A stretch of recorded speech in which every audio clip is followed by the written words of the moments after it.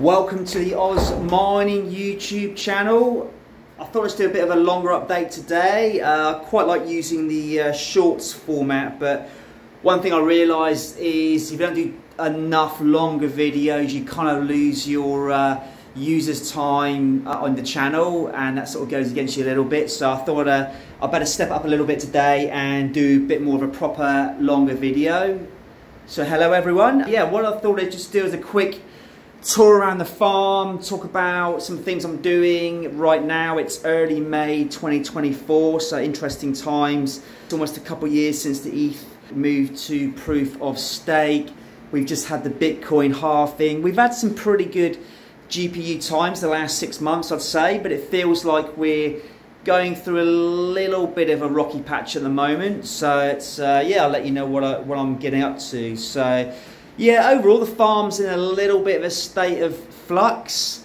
Uh, not literally, my flux rig is off here at the moment, needs a little bit of TLC, but I've got probably about half of my 120 GPUs mining at the moment. The other half are really just going through some transition. There's some older ones I'm looking to sell, and uh, there's some I just need to put onto rigs and get, and get mining. But yeah, let, let me show you what I've got in here. Look, I do have a few mini ASICs inside the house. It's getting cold here now in Sydney, Australia. So those are just great now to mine, heat the house up, cuts my power bills down massively. So incrementally, I'm, I'm making some good profits on them. Uh, just offsetting my electricity bill, even if those ASICs themselves are not that profitable. The ones in the house are mainly the, the mini Goldshell type ASICs. I've got a few in here though. These are the IceRiver KS0 Pros here. They're not overclocked, they're just standard, pumping away here. Uh, they're already fully ROI, they're just, uh, just making increment 10, 20, 30 Kaspas a day. And I've actually got two more of the commemorative green versions I actually need to switch on, just haven't had time. And uh, yeah, look, Kaspa's down at the moment, but I'm still pretty bullish on Kaspa. So, you know, if we got back to all-time highs, the uh, I guess product the profitability of these would just double overnight or however long that that took to get back to the all-time high. So yeah, got them pumping away. They behave themselves. Uh, don't need too much uh, attention. And then here, uh, yeah, I've got a rig. I, I, tried some CPU mining. I need to get back to it, but I sort of paused that for now, just with other projects and things I have on. Up here, we have a rig. It's going to be a 13 GPU rig. I've started building it out with some some gigabyte uh, those are the vision gigabytes there really nice looking cards got some gigabyte gamings and a few other cards at the back there uh, just mixed cards I think there's a Dell one back there. On this I'm mining Pyrin and I'm currently mining that to unMineable and I am generating I think Bitcoin with that one. So um, yes yeah, so that's running quite nicely. I have seen a few videos about uh, unMineable being maybe not the most profitable, I, I guess, uh, vehicle to use, but I really like it. It works well for me. I can put my most profitable algorithms on unMineable, and it saved me having to sell stuff, rebuy it. So look, I'll, I'll, give unMineable a thumbs up. Pretty happy with the service. They can improve prof profitability a little bit. Great, bring it on. But I'm, I'm happy the way it is. Uh, down there is a rig I recently completed. This is a MSI Gaming X rig. It's a mix of 3070s, I think there's one 3060 Ti on there, and there's a few 3070 Ti's on there. This is pumping away on, I, I think that's on Pyrin as well, to be honest. I got mo most things are on uh, Pyrin at the moment, uh, either mining directly to a wallet or uh, mining to uh, unMineable and paying out in Bitcoin. Got another rig over there. Again, that's on on Pyrin algorithm, and I think I think pretty much all my rigs mostly are on Pyrin at the moment. One thing I did want to talk to you about is yeah, this rig over here. This is my 13 GPU RX 6600 rig, although there are a couple of XTs back there as well. That was mining Alephium for over a year, so really happy I got into Alephium. I haven't sold anything, so I've built up a nice little stockpile of Alephium. It is down a bit at the moment, but I think I'm pretty bullish on that with the ASICs coming on my online. It does make me a bit sad, but we'll just sit back now and hopefully see Alephium uh, go to the moon or, or, or, whatever. So now it is interesting. I and actually I'll bring the screen up over here. I was looking at what's profitable at the moment using hashrate.no. And yeah, let's have a look. So Alephium has just disappeared. It's pretty much, I would say Alephium was number one on these cars, these uh, RX 6600s, the best part of the year. Number one coins, you know, sometimes other coins will just jump up for a day or two. But yeah, can we find it now? And look, I would say with these cards, you look at, they are profitable. Uh, I'm not sure, I got, I got 10 cents kilowatt here. Uh, that's US dollars. I'm probably running around uh, I'd say 8 to 10 cents Aussie cents, so per kilowatt. It's probably around, I don't know, say 6 or 7, because I do have around 30 kilowatts of solar which I use all day during the day, and that really offsets and averages out my power costs down to definitely sub 10 cents a kilowatt in Aussie dollars, which is great.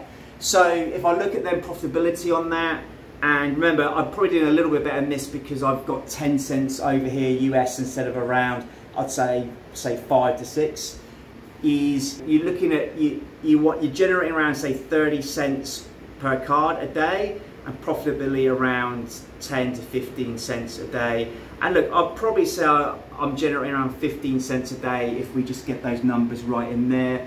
So the whole rig probably around you know $1.50, $2 a day, but you know over a month that all, all builds up and it's not necessarily around out and out profit at the moment. It's actually around just stacking coins, putting them away, and then we'll hold them until we hopefully see them uh, rise again in price. The name of the game right now, I think it is. So let's just have a scroll down though, and let's see if we can find our old friend Alephium. Not there, we're going down, Nautilus, no. there, Alephium. So look at that. Alephium's come right down here. Look, it's not making a loss uh, at the moment.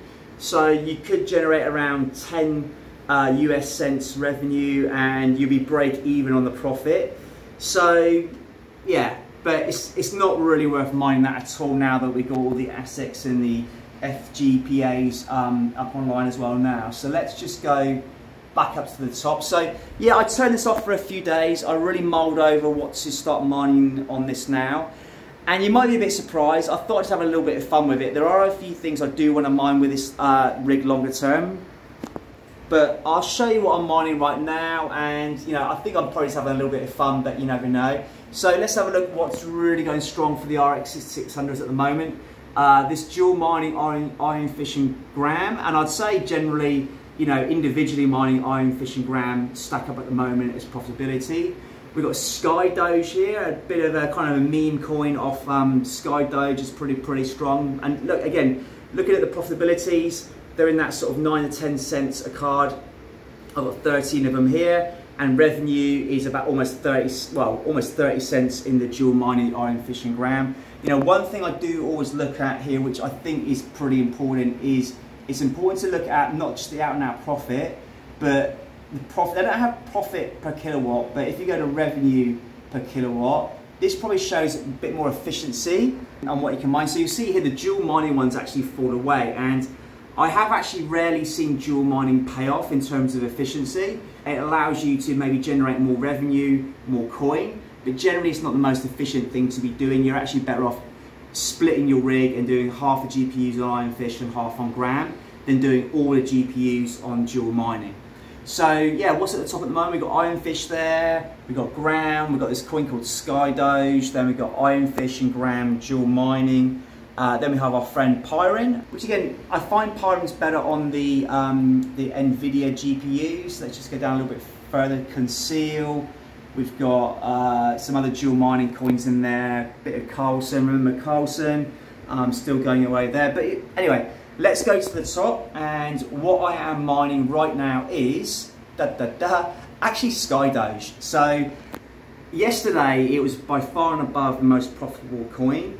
And uh, yeah, I thought, look, let, us just mine some of it. It generates per GPU 12,000 Sky Doge per day. So running the 13 GPUs, I can generate easily over 100,000 Sky Doge a day. Look, it's in the 0.000 sort of cents range. But you know what, I'm gonna have some fun. I think I'm gonna stack maybe a million or 10 million Sky Doge. and let's let's just see. It's a little bit of a meme coin. Seems like they're doing some kind of projects. It might just be a total SHIT coin. But look, I, I, thought I'd have a bit of fun for a month and just stack some Sky Doge. I think what I'm to do then is I probably will start to build a little bit of an Ironfish bag. I am already, actually, apologies. Earlier when I said I was doing some mining or Pirate, I actually am mining some of these rigs directly to a Gram wallet. So all mining Gram, which is like a ton coin variant, to a, uh, directly to a wallet. So I am also uh, stacking a little bit of Gram at the moment, not selling it, just stacking some to see how that uh, pans out. And look, what I might also do with these RX 600s is they're not too bad on the uh, KawPow algorithm. So I might actually mine and might split the GPUs maybe six and seven, looking to maybe build a little bit of Raven coin and also some Neoxa. I think a Neoxa node might be another thing that I might work on a project. I think you need a million Neoxa for a node. So I'm going to get some Sky Doge, have a bit of fun, you never know. Let me see if I can do with one hand. If we go to, I think it's um, Coin Gecko. And let's just see if we can look at Sky Doge very quickly. Um, here we go. Sky. Sky, where is it? Doge. Here we go. Sky Doge Net. Here we go. Yes, actually, look, 24 hours, a bit, a bit of action there. Running low on batteries, have to finish this in a minute. Yeah, so Skydoge's actually on a little bit of a run at the moment. If we look at the last few days, it's been down to like 0.0012 of a cent up to almost 0.002 of a cent. So some good, like 16% rise there. I think a lot of coins have bounced back the last few days with Bitcoin coming back up. If we go like one year here, it's been up as high as 0.03 and it's down in a sort of 0.015. So look, even this goes back to where it has been early this year. There could be a double or a triple up on the profitability. And you know, you never know a coin like this. I think the market cap is about a million dollars. These things can size just jump up to like $20 million quite easy. So that could be a 20X. So anyway, having a bit of fun, mining some Sky Doge. Yeah, but I really just need to get back to getting this rig cleaned up, get all my other GPUs up and running. You know, some people are a bit worried about profitability right now, but I actually think it's a great time to mine right now because you can do a lot of yield mining. When the prices are low and some of the hash rate drops off, other bigger miner farms switch off, or even home miners with high power rates, it's a great time to yield mine, which means you're going to mine, your profitability might not be that strong, but you're going to stack a lot of coins, and that can be useful if you don't have to sell. Put them aside, keep them safe, and then wait for the next spike up in prices. So, this is not financial advice, but just something that I have the luxury of being able to do. I don't have to sell to pay my power bill. And then the only other thing I'm going to be doing this weekend here in Australia is it's getting cold again, so I have these vented ducts up here which go to some high power fans. I'm actually going to be, at the moment, they come up into the roof void and out on the side of the mining garage into the, the cold air. But it's getting cold inside the house now, so I'm actually going to change the conduit and I'm going to be putting it into the house and I'm going to heat the house up for winter. Happy wife, happy life, the kids will be happy. It means I don't have to switch on my heating, so mining is great for the family. And yeah, that's my quick wrap up. So yeah, sorry I haven't done too many of these longer videos. I will get better, I'll do a few more. I've been a little bit on the YouTube shorts and doing a lot of things on Twitter. All right, chat soon guys, take care. And I will speak to you really soon. Thanks for watching and uh, yeah, let me know how you go with the Sky Doge.